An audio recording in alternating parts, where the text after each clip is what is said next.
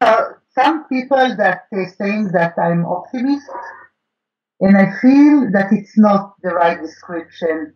I, in a way, um, I have deep belief in human being. Really deep in my heart, I believe with our ability uh, to connect to our pure love to anyone uh, in the world. And in a way, each time for me, because I have a lot of emotions around this conflict, I have a lot of rage and anger and sadness and uh, and, and grief and a lot of emotions. And for me, uh, the more that I'm allowing myself to express these emotions Ah. and not keeping them, blocking them, not sharing them, I'm gaining more faith with who I am and people around, like raising more trust with, with what we, we are together. Uh, so for me, I think that the only way to do it is find good, all the good partners that I, I feel blessed, and one of them is you.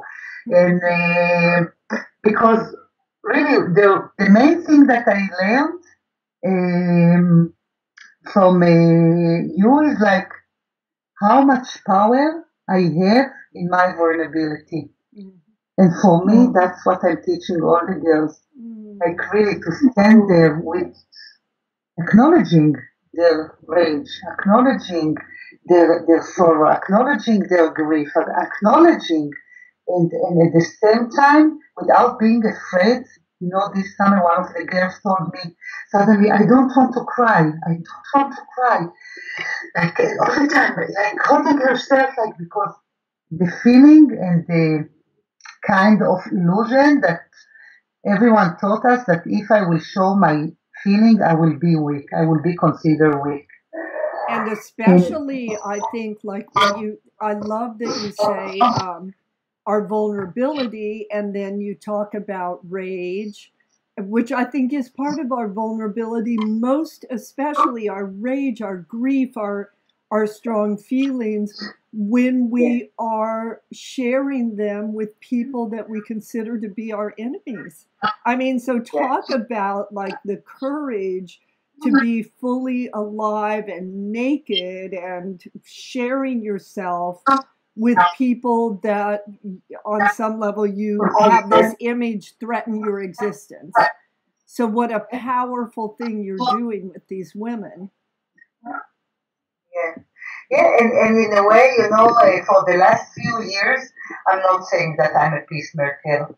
Like, in a way, it's like I'm, and it's a gift because I learned that with working with these girls, like I'm more saying that really we're working together for equality, for justice. Because, you know, I think that all these values that each human being can connect to, like because it's like really uh, values that each human being deserves. You know, uh, when we are talking about equality, everyone can connect to that.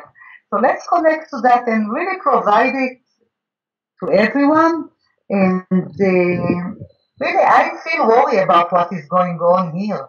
And for me, uh, I said before, and I'm telling all the women and to myself and to others, maybe in the past we had the privilege as women to sit aside and not speaking out. Maybe, maybe.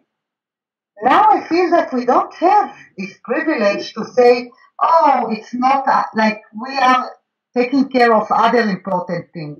This is the important thing. This is the important thing, and it's time that we will allow ourselves to feel and to do something with this feeling in order to stop what is going on.